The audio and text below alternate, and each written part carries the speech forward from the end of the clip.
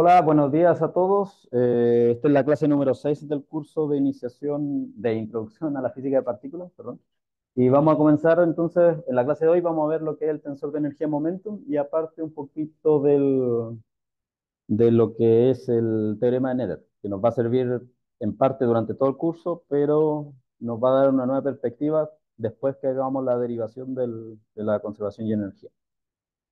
Ya, entonces, el... Entonces, como les decía, vamos a partir primero antes haciendo un ejercicio para soltar la mano y este era un, un ejercicio propuesto que había quedado ayer, que era hacer el, calcular las ecuaciones de movimiento o las ecuaciones de Euler-Lagrange para este lagrangiano que está acá. Acá la parte más complicada de, de calcular el lagrangiano siempre va a ser, ah, cuando uno se acostumbra ya a, la, acostumbrarse a la notación covariante, es hacer estas derivadas, las derivadas que están acá, las derivadas eh, covariantes y contravariantes del campo esta, esta, parte que está acá siempre es la complicada. Esta que está acá no es tan complicado, pero igual es, es bueno sacarla. Ya, entonces, para ir al grano, y yo creo que por conveniencia, porque termino con la espalda media chueca, voy a usar la silla, así no tengo que... Así puedo escribir en una, en una posición más normal, aunque esto no se baja. No, no baja. Ya, entonces por lo menos para esta, para hacer esta parte del, del, del cálculo lo hacemos así. Ya, entonces, digamos, el, la densidad lagrangiana que queremos trabajar es esta que está acá. Esta más adelante va a tener uno, una implicación física porque se le va a llamar eh, la densidad lagrangiana de un campo escalar real y va a estar asociado con una de las primeras eh, generalizaciones o cuando los primeros intentos de hacer compatible la mecánica cuántica con la relatividad especial. En el sentido de que uno en mecánica cuántica tiene la ecuación de Schrödinger y la ecuación de Schrödinger no es una ecuación relativista, pero si uno quiere hacerla, promo promoverla a una versión relativista, uno termina con una que se llama la ecuación de, de Klein-Gordon. Que de este lagrangiano se deriva la ecuación de Klein-Gordon. Ya, entonces, no sé si voy a preguntar algo. ¿no?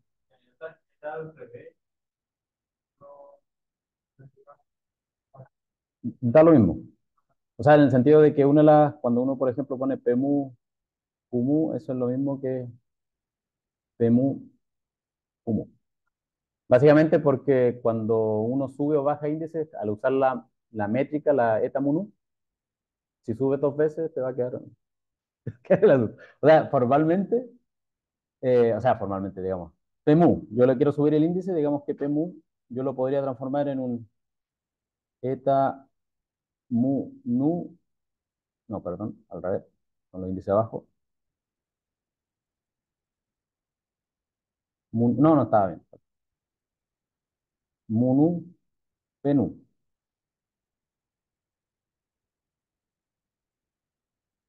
Claro, no, al revés. De nuevo me... Mu, nu, penu. Ya, esos son iguales. Ese P con el índice abajo es igual a, a esta expresión que tiene el eta pero con... Y ahora el P está con el índice arriba. Y lo mismo podríamos hacer con, el, con este término, pero si te das cuenta, este término, en vez de, digamos que ahí tenemos el común, en vez de contraer el eta con el P, podríamos hacer contraer el eta con el Q. De tal manera que si hacemos eso, esta expresión sería exactamente igual a P nu, eta, mu nu, Q mu. Y como eta mu nu es igual a eta nu mu, porque se acuerdan que era una matriz diagonal, con 1 y menos 1, 0, 0. Eh, básicamente este término que está acá es exactamente igual a p nu eta nu mu q mu, di vuelta aquí los índices. Y eso es básicamente p nu, y este índice repetido se suma, me queda solamente el q nu abajo. Y ahí los puedo volver a renombrar porque los índices repetidos son mudos.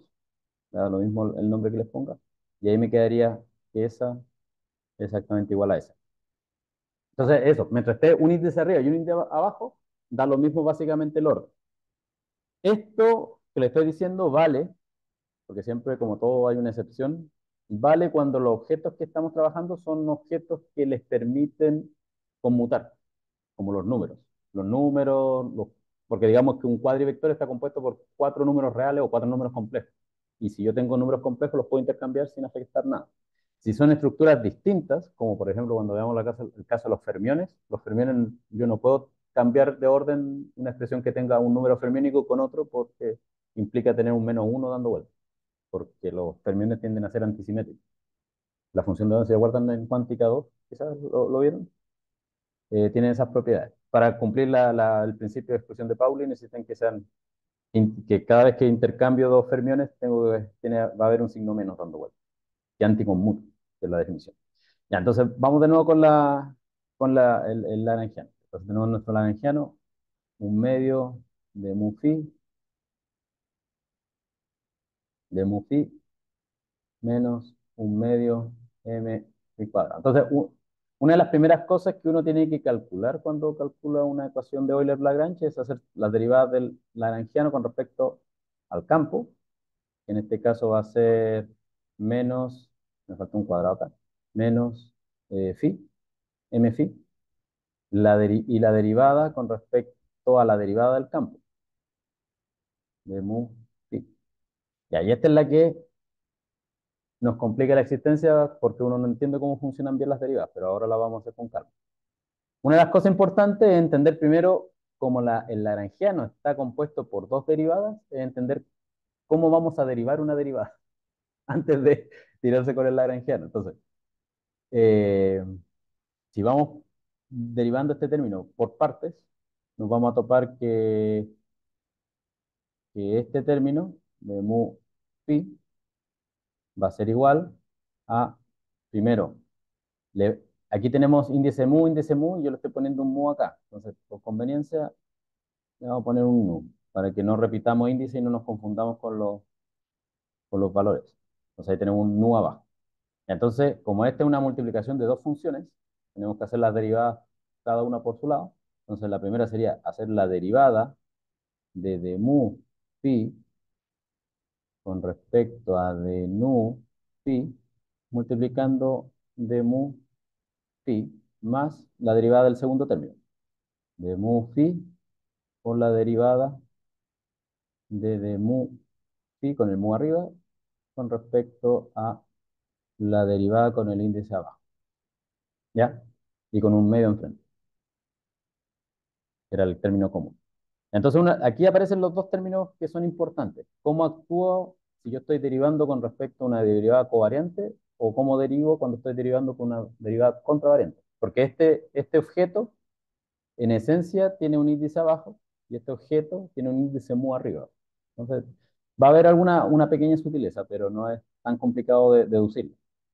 Entonces, este primer término de mu phi, de nu phi derivada parcial, derivada parcial, tiene que cumplir una cierta, eh, una cierta propiedad, que cuando mu es igual a mu, cuando los dos índices son iguales, vale 1, y cuando los dos índices son distintos, valen, vale 0. Esto a priori es una, es una delta de Kronecker, donde, y aquí es cuando se pone divertido la, bueno, divertido, complicado dónde están los índices, este objeto de arriba tiene un índice abajo. Entonces, tiene que respetar eh, que el índice está abajo. Y este objeto que está abajo tiene un índice abajo, pero así como en como está dividiendo, que significa que realmente su índice efectivo está arriba de la es contravariante. Entonces, tiene el índice nu arriba. Esto es mnemotecnia, pero si ustedes lo, van, lo, ven con calma, se van a dar cuenta que, que tiene todo el sentido del mundo hacer esto porque estamos derivando con respecto a, este, a un índice contravariante. Imagínense que en vez de, si lo quieren hacer de una forma más eh, eh, tranquila, ustedes podrían llamar estos objetos de mu, darle las derivadas como son.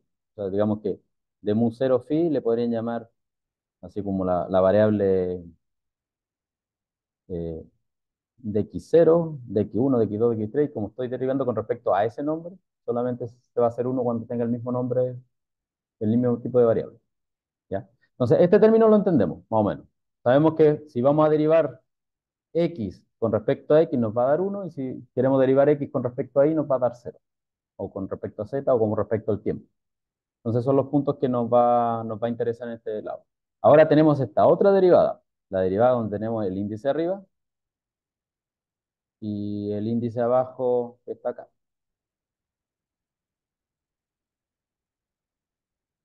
Y acá, alguien con experiencia, con experiencia, alguien que ya ha hecho muchas derivadas, diría, la única diferencia está el mu arriba. El nu sigue estando abajo aquí, entonces por, el, por lo tanto tendría que hacer algún tipo de estructura que tiene un índice arriba y tiene un índice arriba, para el mu y el nu. Y sigue cumpliendo la, característica que está acá. O sea, si yo derivo cuando mu y nu son cero, o sea, la derivada con respecto al tiempo, de t con respecto a dt, esto me daría 1, si fuera la derivada de, del tiempo con respecto a la derivada del tiempo del campo sería 0, sería 1, perdón, pero cuando nos vamos a las coordenadas espaciales va a haber un cambio de signo, porque si se acuerdan, más o menos, eh, la derivada cuando están abajo significa dt y después tenemos el, le voy a poner un de x vector, por eso las tres componentes, y cuando tenemos los índices arriba, perdón, cuando tenemos el índice arriba, significa dt, menos dx, o el, o el nabla o lo que sea. Hay un signo menos porque uno está abajo y uno está arriba. Entonces, cuando sea espacial, vamos a estar derivando un menos un dx, porque cuando este sea 2 va a ser menos, digamos cuando mu vale 1 y nu vale 1, vamos a estar derivando la derivada de menos dx phi con respecto a dx phi. Y esto nos va a dar menos 1. Lo mismo va a ser con x, lo, mismo va a ser con y y con z. Y cuando sean términos cruzados, o sea, cuando derivemos con la otra variable, nos va a dar 0. Entonces, la única, el único objeto que cumple esa, esa condición es el, la métrica, eta mu y esta es delta y esta es eta. Entonces, ya sabiendo cómo valen esos objetos, simplemente tendríamos que reemplazarlos en, este, en estos términos que están acá. Entonces, si hacemos eso, nos va a quedar que la derivada, la derivada del lagrangiano con respecto a la derivada de mu, de nu, sí, era un medio de la primera derivada, etc. Entonces, la primera derivada nos da delta. La primera derivada es una delta. Nu, mu. Nu arriba, nu abajo. Entonces, la primera una delta. Nu, mu. Y el segundo término era una derivada contravariante mu. Era el segundo término, me refiero de la, lo que está multiplicando esa derivada está acá. Mientras que el otro es la derivada por el otro objeto que es una eta. Entonces, más la derivada abajo por una eta mu Este objeto, al ser una delta, lo único que hace es que donde diga mu, lo transforma en nu. Entonces, este objeto es un medio de delta nu phi. Y el segundo objeto Hago la contracción y también me va a tirar una derivada arriba de nu. Por lo tanto, como las dos son iguales, es básicamente de nu phi. Entonces, si hago la derivada del laranjano con respecto a de nu phi, de ese objeto que es invariante, que son la contracción de las dos derivadas parciales, estas que están acá, básicamente es como si fuera la derivada al cuadrado, y lo estoy derivando, de forma muy directa. Eh, de hecho, a veces van a encontrar este tipo de lagrangianos escritos de esta manera.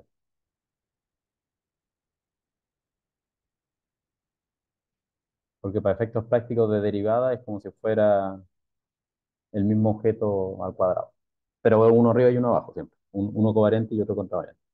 Ya, entonces, volviendo a lo que teníamos antes, vamos a tener que el, la primera, el objeto era menos phi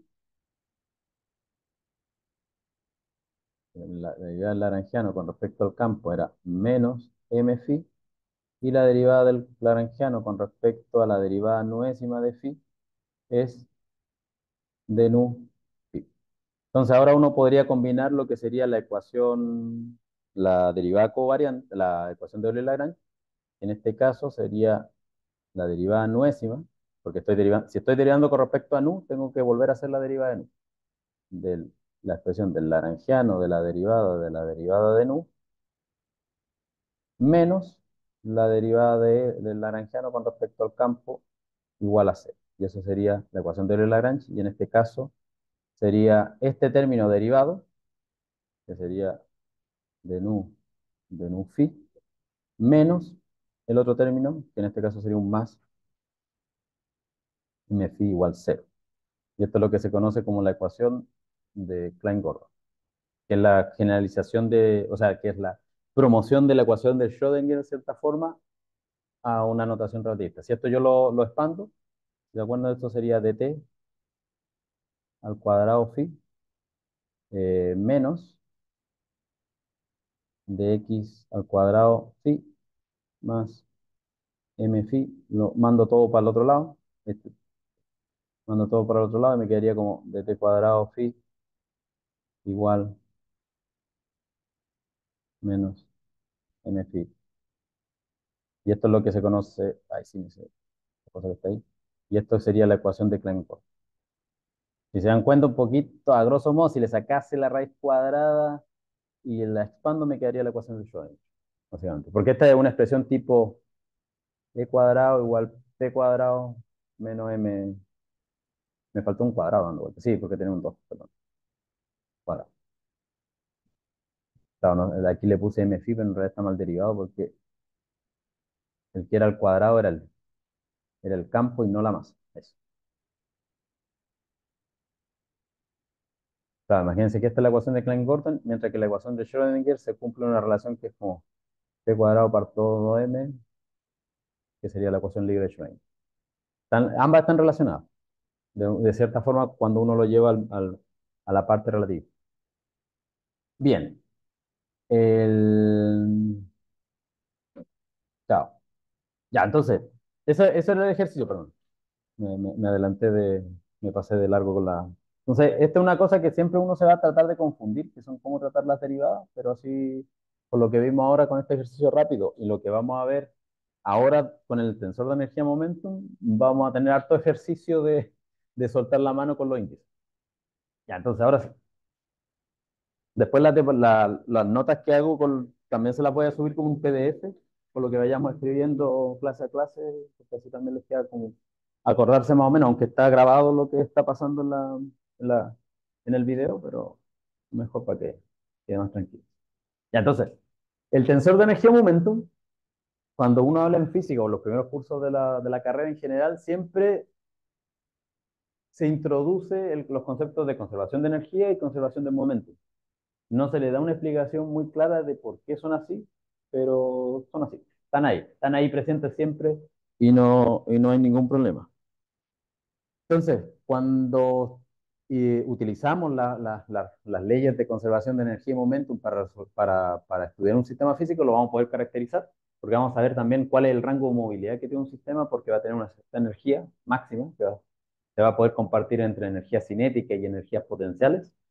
Y nos va a también ayudar, por ejemplo, para, para entender la evolución de un sistema. Por ejemplo, cuando uno estudia el sistema de, de de órbita, dos cuerpos que están orbitando uno en torno al otro, vamos a poder definir lo que son las la energía de, ligadura, donde un sistema no se va a poder escapar. Si, si no se escapa, si está en el mínimo de la energía potencial, van a tener órbitas circulares, y no van a elípticas, sino parábolas, que el caso límite, y ya si la energía disponible es más grande que el máximo del potencial que puede confinar, el objeto se le escaparía, y esas serían órbitas hiperbólicas. Pero entre medio, para poder derivar esas órbitas, uno utiliza los conceptos de conservación de energía y momento, un momento angular para poder sacar ese tipo de, información. Ahora, en el contexto de la relatividad especial, uno tiene el, el hecho de que va a introducir o va a tratar de explicar la conservación de la energía del momentum como la respuesta que sufre un sistema físico si es que hacemos una traslación rígida del, del, espacio. agarramos todo el espacio y lo movemos un centímetro para el lado. Todo. ¿Cómo cambian todas las expresiones? Y si nuestro sistema físico, nuestro lagrangiano, no cambia debido a ese movimiento rígido, va a aparecer una cantidad que se conserva. Y eso es lo que está detrás del teorema de Nether, que nos dice de forma general que si tenemos un, sistema físico descrito por un lagrangiano y ese lagrangiano no se ve afectado por alguna transformación que hagamos, eso quiere decir que esa transformación, que es una simetría del sistema, se va a representar como una cantidad que se va a conservar durante el, en la evolución del sistema. Entonces, en este caso, el tensor de energía momentum correspondería a la simetría que tuviera un lagrangiano si es que movemos el espacio en una pequeña cantidad, en un vector rígido epsilon mu. Agarramos x le sumamos un poquito y vemos cómo se comporta. Que en cierta forma en mecánica clásica también aparece. Si, tenemos un sistema que nosotros podemos hacer traslaciones espaciales rígidas, y si las cantidades se conservan, vamos a tener conservación de momentum lineal. Y si hacemos traslaciones en el tiempo del sistema, que las ecuaciones no cambien con el tiempo, básicamente, o sea, que el Lagrangiano no cambie con el tiempo, va, va a aparecer que eh, el Lagrangiano no depende explícitamente del tiempo y por lo tanto la energía va a ser una de las cantidades conservadas del sistema, etcétera, etcétera. Y ahora lo vamos a ver todo en este contexto del tensor de energía-momento. Entonces, como les digo, para visualizar qué vamos a estar haciendo cuando hagamos una traslación rígida, porque cuando yo pongo esta notación de x mu, eh, x mu más epsilon mu, me estoy refiriendo que va a existir un, un x mu prima, que ahora es la composición del el antiguo x mu más la, la traslación rígida. Y esto es infinitesimal. O sea, no es que lo movimos un kilómetro, sino que lo movimos un, un delta x simplemente. Para ver cómo responde el sistema a pequeñas perturbaciones de estas traslaciones rígidas. Entonces, en este caso, lo que queremos ver es cómo esta pequeña traslación va a afectar al lagrangiano. Porque eh, un poco por lo que ven al final del, teorema de Nether, queremos entender ese tipo de comportamiento. Entonces, vamos a considerar, primero que nada, un lagrangiano completamente genérico, que va a estar definido de la siguiente manera, va a depender del campo, va a depender de la derivada del campo, que era lo que habíamos visto, y vamos a decir que también tiene una dependencia en la posición. Simplemente porque, como vamos a trasladar todo el espacio-tiempo, lo vamos a mover de forma rígida, queremos asegurarnos de que eso esté pasando. Entonces, si hacemos eso, y como bien podemos esperar, nuestro laranjiano en principio debería sentir una variación, y esa variación debería estar, la podríamos separar en dos partes. La variación que viene porque los campos que viven en el espacio-tiempo se van a ver modificados porque movimos el, marco de referencia, hicimos la, relación rígida, y otra parte del lagrangiano que varía simplemente por la rotación rígida. O sea, por la traslación rígida directamente. ahora, todas estas tres variables van a cambiar porque, las, porque las, estamos cambiando el x mu. O sea, el, phi evaluado en x mu cambia. El d mu phi que está evaluado en x mu va a cambiar por el epsilon y el x mu va a cambiar por el epsilon. Entonces los tres básicamente agarramos un sistema e hicimos una, una pequeña eh, separación, un pequeño movimiento. Entonces, Acá es cuando empieza un poco, no sé, se han hecho cursos de termodinámica, siempre aparecen un montón de derivas parciales por esto mismo, porque uno estudia los, los sistemas, si los movemos un poquito primero para ver cómo, cómo responden, no haciendo un movimiento muy brusco, porque si no podríamos romper el, las propiedades bonitas que tienen las funciones de que sean continuas y diferenciables. Entonces, si uno hace eso, o sea, si considerando este, este pequeño cambio de infinitesimal, vamos a pensar que nuestra variación del lagrangiano va a tener la variación del lagrangiano debido a la variación del espacio-tiempo, que en principio cualquier variación que queramos estudiar, no solamente en física, pero en, matemática en general, si tenemos una pequeña variación, piensen que, que tienen básicamente como una serie de Taylor, entonces si nosotros queremos hacer una variación del espacio, no es necesario que rayen, eh, básicamente nos va a dejar un, término de esta forma. Ahora vamos a ver cómo encontramos este término. Y la otra parte es como los campos van a cambiar, porque cambiamos la posición, movimos un poquito la posición, nos van a, se van a representar en las derivadas parciales con respecto al campo o al campo derivado, con las cuánto se movió el campo o cuánto se movió el campo derivado. Ahora lo vamos a ir con calma. Vamos a ir cada uno de esos términos con, con calma para, para entender. Pero en este punto es básicamente, si cambio un poquito el, el espacio-tiempo, lo muevo rígidamente en todos los puntos del espacio, lo cambio en la misma cantidad, eh, ¿cómo se van a ver afectadas las distintas dependencias que tiene la granja? Esto, como yo les digo, yo estoy cambiando todo el, espacio tiempo de forma rígida. O sea, a, toda, a todos los puntos del espacio de mi universo observable le estoy sumando un metro a la derecha, por ejemplo, y lo estoy adelantando un segundo. Cambiando de esa manera. Si fuese un cambio que depende del punto del espacio-tiempo, ya estaríamos lidiando con cosas relacionadas con relatividad general. En este caso, como todo el universo, el, espacio-tiempo, una cantidad física pero rígida, o sea, no, no, no, las puedo, no puedo deformar la métrica, la métrica es plana, es una identidad con un signo menos, todo el movimiento va a ser como si fuese un sólido rígido, por llamarlo así. Bien.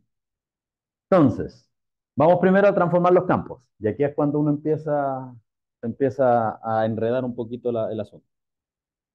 Primero que nada, si yo tengo un campo que depende de x mu, si se acuerdan cuando estudiamos eso con los campos escalares, el campo transformado iba a ser el campo evaluado en la, transformación inversa.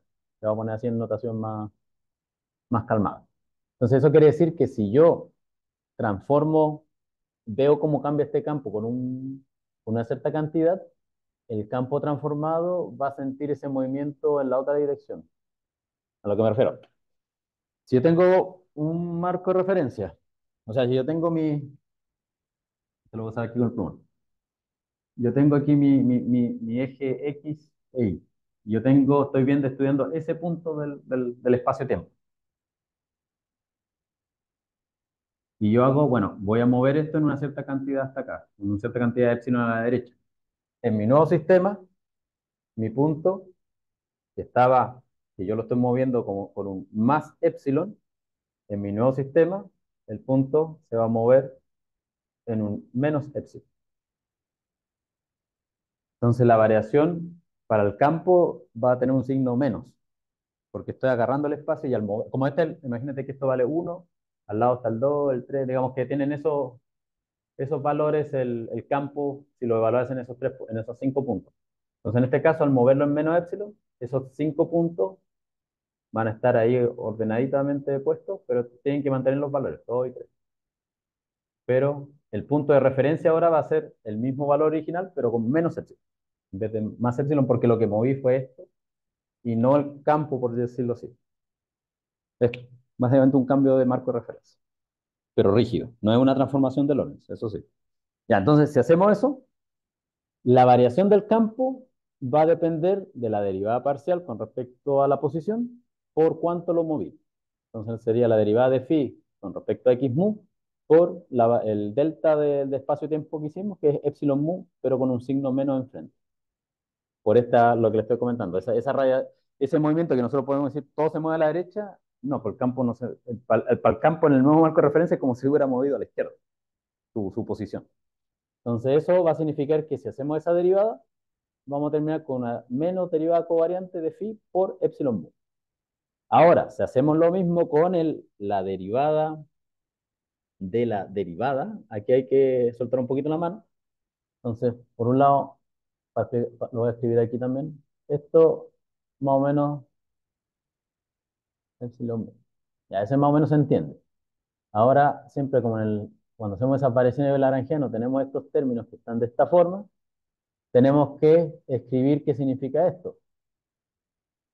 Entonces eso en principio significa la derivada de la derivada de mu con respecto a la posición, aquí le voy a poner un nu, multiplicada, o sea, contraída con x nu, con epsilon eh, nu. Acá podemos, básicamente, esta derivada que está ahí sería, vamos a poner la primera derivada, la del x nu, está derivando al campo phi con respecto a x mu. Simplemente estoy transformando ese de mu en, lo que formalmente sería escrito como derivada parcial. Y si se acuerdan, las derivadas parciales para objetos que son continuos y diferenciables bonitos se pueden intercambiar. Entonces, básicamente estamos haciendo ese truco, mandando x, perdón, x mu acá, y el que estaba antes de nu, lo vuelvo a nu. Y aquí tengo phi, epsilon nu. Y ahora puedo recomponer esto con las notaciones que conocemos de, de derivadas parciales. Entonces esto sería de mu, de nu, phi, epsilon mu. lo que hicimos eso. Y esto que está acá, básicamente esto que está acá. Entonces, todo esto sería, bueno, con el epsilon, perdón. Y aquí aparecería un signo menos y sería eh, de mu de phi. O sea, es de mu de phi, pero esto, me olvidé que aquí van los signos menos por lo que les comentaba de los campos. Ahí. Ahí. Entonces, básicamente, obtenemos lo que antes hicimos cuando derivamos las ecuaciones de movimiento doble Lagrange. Simplemente, ahora como está el espacio-tiempo, esta relación rígida, se complica un poco las ecuaciones, pero sigue siendo la misma, el mismo objeto. Entonces, aquí una cosa importante que ya le había comentado, ese signo menos viene por el hecho de que el campo, en cierta forma, se mueve para el otro lado con respecto a nuestro movimiento, a nuestra, nuestra eh, traslación rígida. Eso eh, tiene que ver cuando, mm, no sé si en termodinámica se ve, pero cuando uno hace lo que se llama unas transformaciones activas o transformaciones pasivas del marco de referencia. Significa como en cierta forma, yo metí energía para mover el marco de referencia o simplemente estoy expresando las cosas de forma a través de variables implícitas.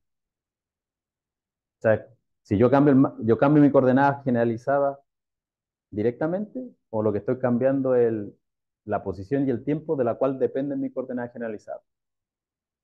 Depende en, dónde haga el cambio, es cómo se va a manifestar el signo en la, en la derivada parcial, en la variación del, objeto. O sea, a lo que me refiero, piensen cuando yo digo coordenada generalizada, y esto se me mezcló con eso, en el punto de, del punto de vista del, de lo que estamos discutiendo, coordenada generalizada sería un campo. Entonces, si yo al campo le sumo 5, estoy cambiando el campo. Es una transformación eh, pasiva, activa, perdón, porque le sumo al campo en sí. Pero si lo que estoy cambiando es la posición, el valor del campo va a estar referenciando a otra cosa, va a estar referenciando a ese cambio de posición. O sea, va a ser una transformación que está por debajo del campo. No sé, un poco eh, tiene su... Hay que pensarlo. Si ustedes hacen un gráfico y ven cómo se comporta el campo si lo muevo, si muevo el, el marco de referencia, o si al campo le estoy sumando o quitando un número, transformando el campo propiamente tal, o estoy transformando la variable de la cual depende el campo. Bien, entonces, eso es lo que resulta si hacemos las variaciones de los campos. Entonces, con eso, nosotros podemos ahora agregarlo a nuestro lagrangiano, a nuestra variación del lagrangiano, que la parte que solo depende de la variación del campo, depende de la variación del campo propiamente tal y de la variación de la derivada del campo.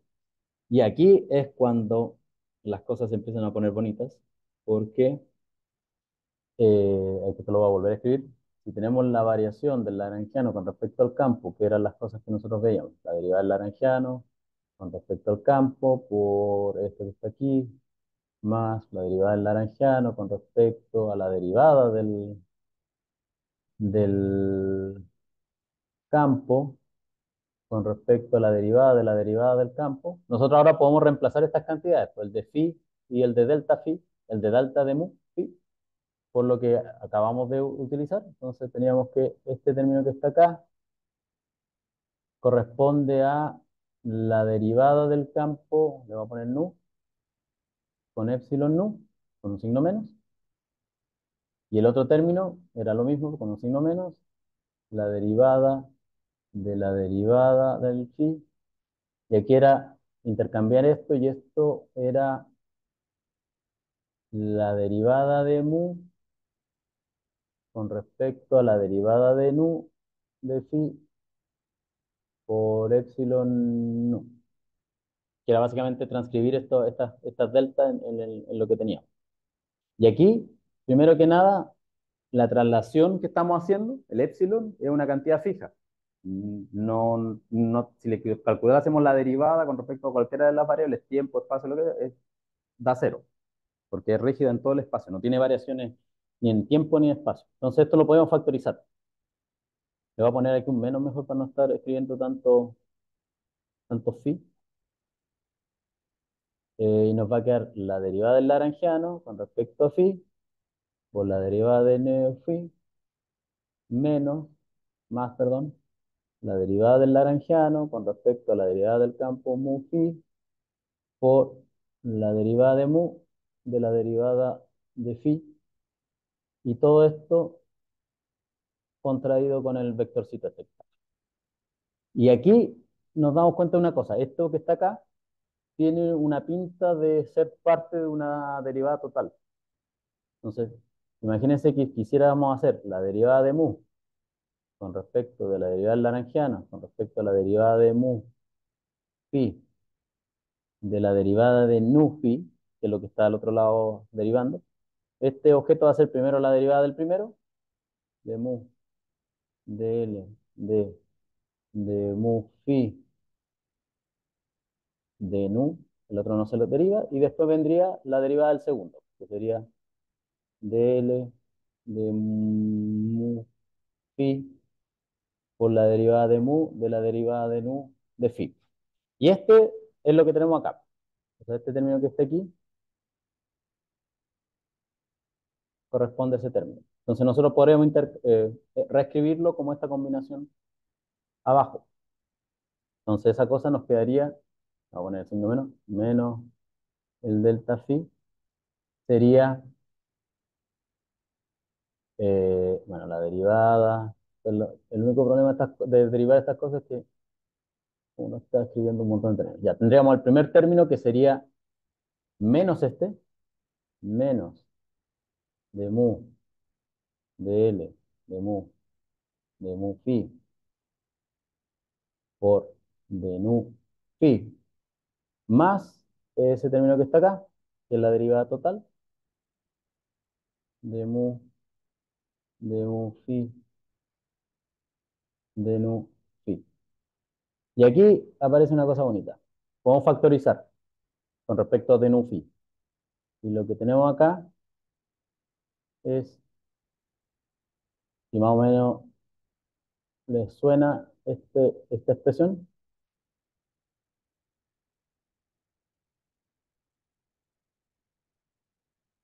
y el otro término que está acá, lo voy a escribir en viaje, eh, de nu y esto que está acá es una ecuación de Lagrange. Es la ecuación de movimiento y por lo tanto, con un sistema físico que esté en el, movimiento del mínimo, va a ser cero.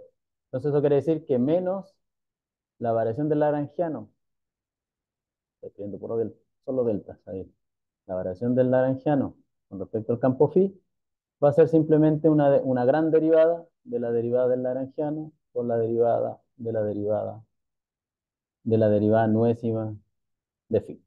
Entonces eso quiere decir que el laranjiano, por un lado, variar, hacer una traslación rígida en el espacio-tiempo, produce que la parte del campo, la, variación del laranjiano, porque el campo varía, cambia como si fuese una derivada total. Una derivada de un campo multiplicado por la traslación.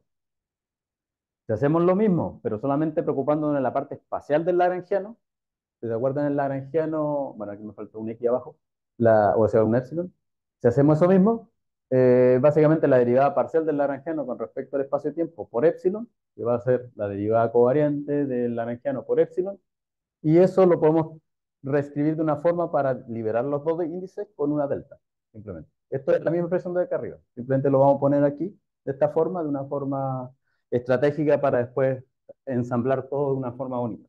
Eso, básicamente, lo que estamos calculando con esta variación es cómo cambia el lagrangiano si nosotros hacemos una relación rígida. Aquí, básicamente, estamos haciendo, proyectando, haciendo el producto punto, en cierta forma, de la variación del lagrangiano, del gradiente del lagrangiano, con respecto al movimiento. Cuando esto es cero, la variación es cero, y al moverse epsilon, como estamos moviendo, en cierta forma, el lagrangiano de posición, va a aparecer un gradiente porque hay diferencias de los valores del lagrangiano en el punto original con respecto al lagrangiano trasladado. Y eso, eso simplemente es la parte de la traslación. Ahora, juntemos todo y al juntar todo aparece que este término, junto con este término, al combinarlos, nos damos cuenta de, primero que nada, aquí aparece la derivada de mu del lagrangiano y aquí tenemos una derivada también. Entonces podríamos juntar ambos términos bajo el alero de la misma derivada y la, y la variación del laranjiano nos va a quedar una gran derivada actuando sobre, la derivada de mu, la derivada de mu actuando sobre la derivada del lagrangiano con respecto al campo por el de nu menos la delta mu nu por el lagrangiano y todo eso multiplicado por epsilon nu. ¿Ya? Y eso que está ahí es básicamente cómo se comporta el lagrangiano si es que variamos, hacemos esta traslación rígida. Agarramos todo el espacio y nos movemos. Y como les comentaba, si pensamos que la variación del lagrangiano, esta cosa, se me, se me coló una, una diapositiva que no iba. Si pensamos que el hecho de que el espacio-tiempo no afecta a nuestro lagrangiano, debería ser que todas estas variaciones eh, sumen cero. Nosotros decimos que el valor del lagrangiano no va a cambiar bajo estas traslaciones rígidas, entonces todas estas variaciones que estamos produciendo, porque el campo varía, porque el lagrangiano varía, no son cero per se, cada una por separado, pero la combinación total debe sumar cero. Porque si, no, si algo no cambia, el delta es cero. Entonces, si hacemos ese cambio, nos va a arrojar esto que está acá, que es la derivada de lo que está dentro por epsilon, o sea, contraído con epsilon nu, de nuevo ese, ah, sí, aquí lo puse bien, epsilon nu igual cero. Si la traslación del espacio-tiempo es arbitraria, lo que implica que la derivada de este objeto que está dentro es la que tiene que valer cero para que funcione. Valer cero para todos los nu, para nu, nu 0, nu 1, nu 2, nu 3. Y eso que está acá, al ser una derivada total igual a cero, va a implicar que la cantidad que está dentro de la derivada tiene que ser constante. Y este objeto que está acá adentro es lo que se conoce como tensor de energía y momento. Y este tensor de energía y momentum representa, o sea, es una cantidad que se denomina cantidad conservada porque su derivada nos da cero. Y nos da cero en todos los índices nu. 0, 1, 2, 3. O sea, esta cosa en realidad no es una ecuación de continuidad, son cuatro ecuaciones de continuidad. Para, para las cuatro componentes espaciotemporales de, que existen en este, en este mundo que estamos viendo acá. Sea, este es el tensor de energía momento.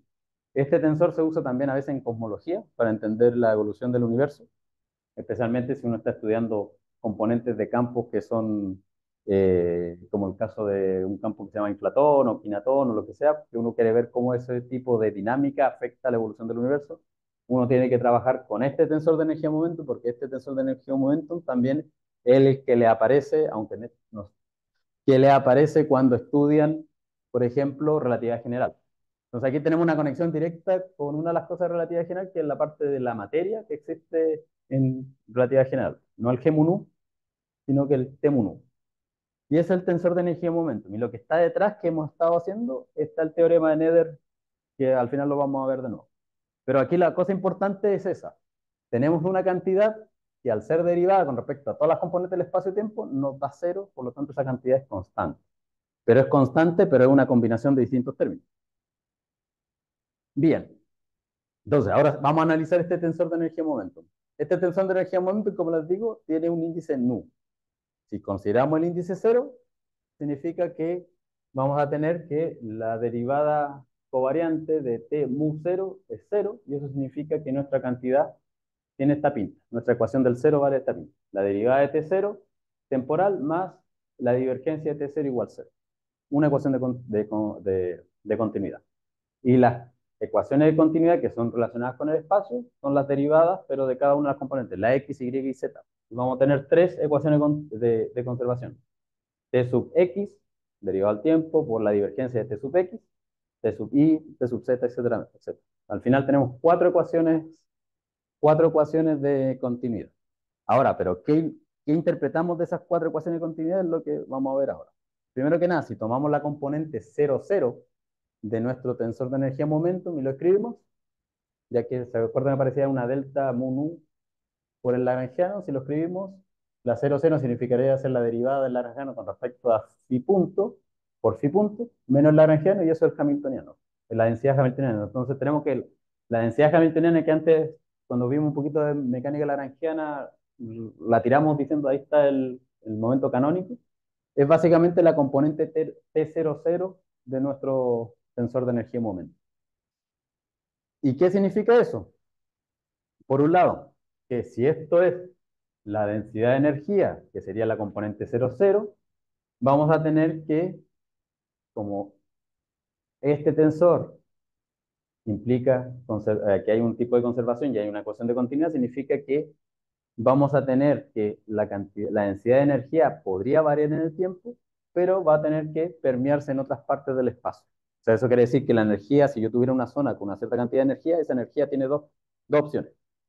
Si se desplaza a las regiones aledañas a ese punto, el valor de la energía a medida que evoluciona el tiempo va a ir cambiando. Y esto sería que hubiera transferencia de energía en el sistema. O sea, aquí, como esto es una teoría de un medio continuo, eso quiere decir que nosotros tenemos un objeto en el espacio-tiempo y la energía se va a propagar por este objeto moviéndose según los objetos que estén parados en él. Esto es como si fuese el típico problema de tengo un ladrillo y lo caliento por un lado y veo cómo la temperatura se propaga. Sería un caso similar, como la energía se va propagando a través del, del sistema, según las reglas del, porque aquí estamos, pusimos el lagrangiano arbitrario. Una vez que uno fija el lagrangiano, va a entender cómo la energía realmente se propaga dentro de un sistema físico. O sea, la densidad de energía. Ahora, si agarramos la misma ecuación y le integramos sobre todo el espacio del, sobre todo el espacio, sobre el volumen donde está nuestro objeto, vamos a terminar primero con el teorema de Stokes, que la o sea, con el teorema de, Gauss, la integral de la divergencia en 3D, por otro lado, vamos a tener la integral de la parte volumétrica de nuestra densidad de energía, que integrada sobre todo el volumen va a ser la energía del sistema, a ser la energía contenida en todo el volumen. La variación de esa energía contenida en todo el volumen va a tener que ser igual a menos eh, el cuánta energía se nos está escapando por los bordes del sistema, que es la integral del, sobre el borde del el flujo de energía. Entonces aquí podemos interpretar dos cosas. Primero que nada, este término que está acá corresponde al flujo de energía, que sería la potencia en un sistema. Y por otro lado, si es que este término se hace cero durante todo nuestro volumen, significa que la energía como total del sistema se conserva. Y si nuestro volumen es el universo completo, y asumimos que no se nos escapa energía del universo, tenemos que en todo el universo la energía se conserva. Globalmente, localmente va a haber flujos de energía moviéndose dentro del sistema. Así como lo que estamos asegurando con esa ecuación es que no se, de nuestro sistema envuelve todo el universo y no se nos escapa energía. Pero no nos está diciendo cómo se mueve por dentro. Ahora, si hacemos lo mismo con las partes espaciales de nuestro tensor de energía momentum, la integramos en el volumen, vamos a tener la variación de, esta cantidad de espacio, eh, de la parte espacial del tensor de energía momentum, que está relacionado con el momentum lineal del sistema, o la densidad de momentum lineal. Y por otro lado tenemos la el flujo de, momentum que se nos escaparía por el volumen. El flujo, o sea, y aquí lo pueden ver, si esto es el, momentum total derivado con el tiempo, esto nos está dando la conservación del momentum, angular, eh, momentum lineal si es que no hay flujo, pero si hay flujo, si el momentum varía en el tiempo, lo que está acá nos está entregando un flujo de momentum que sería una fuerza, si lo representamos directamente, pero es como, como es una densidad, estaría relacionado, con la presión del sistema. O sea, eso quiere decir que si el flujo de momentum está escapando, significa que sobre nuestras paredes del sistema hay presión. Presión de fuerza que está... Presión que si lo integro es una fuerza, pero como es por área, es una presión y eso significa que hay un movimiento que está llegando hasta el borde de nuestro sistema. Bien, entonces, ahora llegamos a este punto o sea, eso era para caracterizar. Ahora ustedes ya saben que en el contexto de mecánica de sistemas continuos tenemos conservación de energías si es que nuestro sistema no depende, o sea, no se ve afectado por las variaciones. Si agarramos el espacio y lo hacemos un movimiento rígido completo.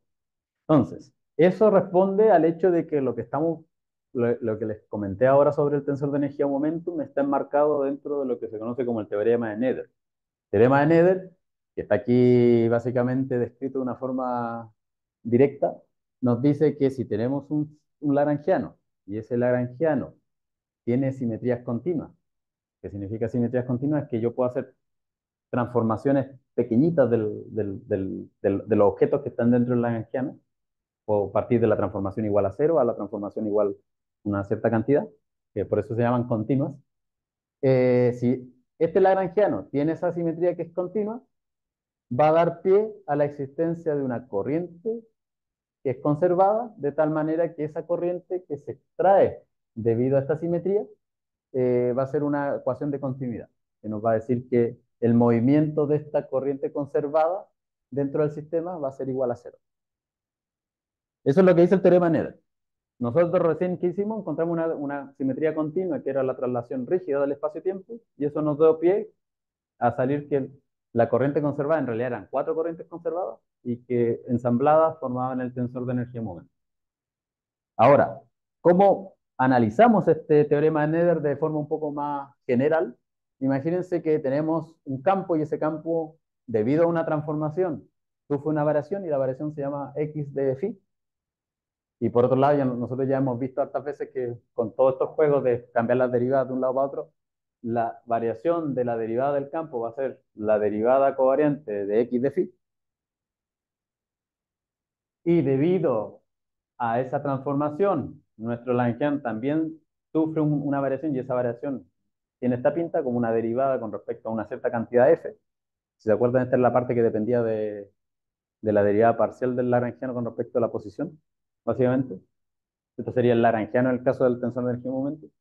Entonces, si juntamos estas dos cosas, con nuestra variación de nuestro Lagrangiano, haciendo las ecuaciones de, eh, haciendo básicamente lo que hicimos aquí, pero para el caso, para el caso este genérico, con un x phi, lo que vamos a obtener es que, eh, primero que nada, que la variación del Lagrangiano debido a los campos va a tener esta pinta, exactamente lo que obtuvimos con nuestro con el caso del tensor de energía momento, excepto de que esto lo habíamos reemplazado por una derivada por epsilon nu, y en el caso general, esto va a ser simplemente la derivada del Lagrangiano con respecto a la derivada, pero por la función x, que es la, la que nos dice cuánto transformó nuestro campo. Entonces, esto juntado con lo anterior de la derivada del, del, Lagrangiano, que nos daba la función f mu, significa que vamos a tener una corriente conservada porque vamos a tener una derivada global que por una variación nos va a dar igual a cero y la derivada dentro nos va a dar cero, de este JMU que estaba acá. Y ese JMU tiene esta pinta, es la derivada con respecto a la derivada por x phi menos f. Y esto es para cualquier transformación genérica. Nosotros recién pusimos que x, x phi afectaba, aparecía el epsilon, y debido al epsilon, aquí aparecía epsilon mu, las derivadas, aquí era menos el lagrangiano, teníamos cuatro, aparecía la delta de Kronecker porque teníamos cuatro ecuaciones básicamente, era un poquito más complicada, era una traslación rígida en cuatro dimensiones. Pero esto nos está diciendo, el teorema Nether nos dice que en cualquier sistema donde tengamos una transformación continua o una, una simetría continua de nuestro lagrangiano, va a aparecer una corriente y esa corriente se va a conservar. En el caso de recién, Tensor de energía momentum significa conservación del, de, la, de, la, energía, de las densidades de energía y momentum de forma general. Si nos vamos al caso de las ecuaciones de Maxwell, las ecuaciones de Maxwell, digamos que son las ecuaciones de Euler-Lagrange que se derivan de un Lagrangiano. Si en ese Lagrangiano existe una simetría continua, en el caso de las ecuaciones de Maxwell, ya ustedes creo que no lo vieron en teoría electromagnética, aparecían lo que se llaman transformaciones de gauge o de calibre o de norma. Ese lagrangiano no cambia a través de esas transformaciones y esas transformaciones dan como producto que la corriente que aparece es la densidad de carga en la parte temporal y la densidad de corriente en la parte espacial, dando pie que lo que se conserva con las ecuaciones de Maxwell son la carga eléctrica. Entonces, digamos que todas las ecuaciones que ustedes han visto en, los cursos de física han sido ecuaciones de movimiento. Pero esas ecuaciones de movimiento, por detrás, la mayoría de ellas tienen un lagrangiano que existe. Y sobre ese lagrangiano uno puede analizar estas propiedades matemáticas de simetría y sacar cantidades que son un poco más entretenidas de analizar. Porque uno trabaja con cantidades que se conservan, más que estarse fijando directamente en qué marco de referencia estoy para hacer un cálculo en específico uno trabaja, por eso cuando se, argumenta de que el universo en sí y cómo se han dado pie a los distintos experimentos y cómo se ha ido corroborando la, idea que existen las, que las simetrías son las que le dan la forma al universo que nosotros vemos, entonces le da todo un, un, un, una, parte muy entretenida al, estudio de la física en sí, desde el punto de vista matemático. Como una teoría matemática con simetrías se permea para explicar fenómenos en el mundo real en la física. Bien, para trabajo, trabajo tarea, vamos a, ustedes van a tener que ver, porque nosotros hicimos una traslación rígida, y, eso es el tensor de energía en momento. Ustedes podrían hacer el mismo cálculo para soltar la mano, pero en vez de hacer una transformación rígida, podrían hacer una rotación en el eje Z. Entonces, si yo tengo una rotación, mi matriz de rotación en el eje Z, infinitesimal, es la identidad más LZ por delta teta, donde teta, es un ángulo chiquitito que haría una rotación de los ejes X y Y. Entonces, si hacen ese tipo de transformación, lo que ustedes deberían obtener, si trabajan un poquito así y le sueltan la mano, eh, obtendrían la conservación del momento angular. Que la corriente conservada sería una densidad de momento angular que tiene el sistema. Y ahí tendrían las, simetrías del sistema del grupo de Lorentz, que son las de traslación espacial, traslación temporal, transformaciones de Lorentz, propiamente tal, de marcos de referencia, y las, y las conservación tipo eh, conservación de momento angular. Ahora, este objeto de esta acá, el LZ, si se acuerdan de mecánica cuántica, también se le llaman los generadores del grupo de rotación. A veces lo veían con las matrices de Pauli, pero más o menos aquí se imaginan que si quiero hacer una rotación en el eje X, se trae en el eje X, sucede que me, mezcla las coordenadas X con Y, la transformación tiene esta pinta, un menos 1, menos 1, porque es infinitesimal. Aquí imagínense como si fuese coseno de teta, menos seno de teta, seno de teta, coseno de teta, pero teta chico. Y esto sería menos la identidad, entonces por eso queda un 0 quedan esos que están ahí dando vueltas. Y lo mismo acá, si hacemos una, una, rotación en el eje Y, o sea que nos mezcla el X con el Z, tendríamos este tipo de transformación y esto otro tipo de transformación. Esto se le conoce como los generadores en los que, si alguna vez hicieron teoría de grupo, pero serían los generadores del grupo de rotación en tres dimensiones, el SO3 por caracterización, y tiene la gracia que se parece mucho al grupo que aparece con SU2, que son el grupo de las matrices de Pauli, que están relacionadas con el spin. Entonces, momento angular y momento angular del spin se empiezan a, mezclar y eso ustedes lo vieron muchas veces en mecánica cuántica con acoplamiento spin-órbita y otras cosas por ahí.